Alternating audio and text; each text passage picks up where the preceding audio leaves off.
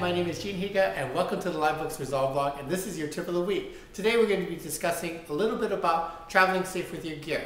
We travel for about 10 weddings a year and a couple of things that we take with us. Of course we take all of our camera gear on board in a nice safe roller. We carry a backpack that holds our laptop and any kind of electronics, cords, chargers, any of that stuff. It stays on us. But we also keep an extra set of clothes just in case. You never know if your bags are going to make it to your location. So we always keep our wedding clothes in there and of course a change of clothes um, just for casual around town. So keep yourself safe and we'll see you guys around the world.